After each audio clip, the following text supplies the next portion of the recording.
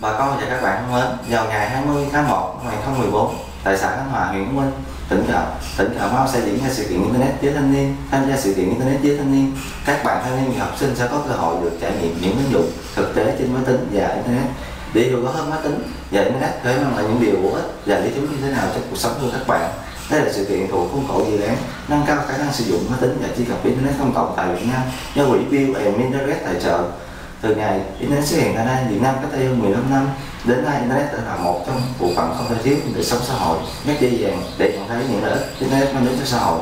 Internet giúp cơ quan, nhà nước thực hiện các hoạt quản lý hơn, giúp các doanh nghiệp tìm kiếm được những hình thức kinh doanh, những cơ hội kinh doanh mới, giúp người dân được công cụ với quyền lực học tập, làm việc mang lại nhiều điều lý thú và bổ ích trong cuộc sống. Đặc biệt, với người dân ở nông thôn, việc sử dụng internet sẽ giúp bà con tiếp cận kho tàng kiến thức, khổng lồ của nhân loại. Trong đó có rất nhiều thông tin hữu ích cho hoạt động sản xuất và nông nghiệp. Với các bạn thanh niên ngày sự